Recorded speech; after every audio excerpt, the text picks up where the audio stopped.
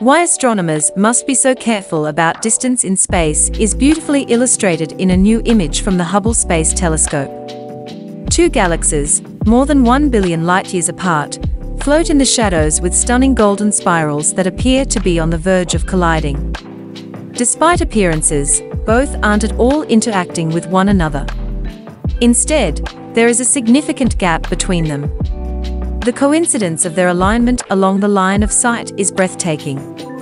As they are drawn together along dark matter superhighways to galaxy cluster nodes, galaxies do collide in space quite frequently. From there, they stream toward a shared galactic center. Do you know NASA found organic matter on Mars, which is a sign of ancient life? Yes, right, you can watch the detailed video, and video link is mentioned in the description.